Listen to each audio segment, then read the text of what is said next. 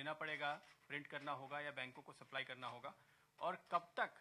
The MPC was of the view that given the reduction of the policy rate of 25 basis points in October which cumulated to a reduction of 175 basis points since January 2015 a further reduction in the policy rate is not warranted at this juncture Governor, uh, in your statement, you talk about the fact that the impact.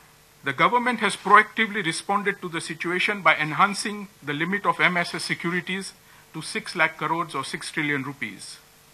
This has enabled the withdrawal of the incremental CRR with effect from the fortnight of December 10th. Banks will no longer have to bear the burden of the incremental CRR as they will be adequately compensated through the coupons on MSS securities. Yesterday, sir.